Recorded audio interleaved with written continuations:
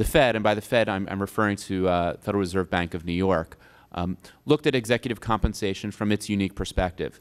It looked at the amount of money involved and concerned whether bleeding of, of, of cash would impact AIG's ability to repay its loan.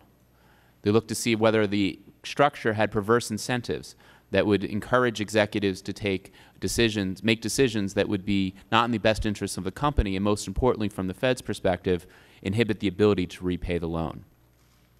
Treasury, on the other hand, paid scant attention to the executive compensation structure. Other than, than discovering and figuring out who the 50 or so employees that would be subject to its executive compensation uh, restrictions that were included in the November $40 billion TARP bailout, Treasury did little more. As a result, when the March 2009, earlier this year, AIG financial products retention payments came, came through, Treasury didn't know about them until two weeks beforehand. And they didn't know the scope of those, those payments, that they were going to apply not just to essential personnel, but also to non-essential, people who worked in the mailroom, in the kitchen, in the file room. Our audit in this concludes that this was a failure.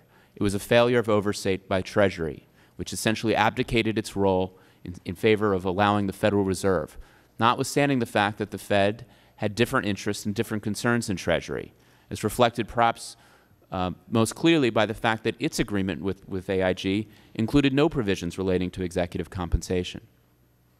Our audit also concludes that Secretary Geithner did not find out, did not learn of these bonus payments until just days before they were made.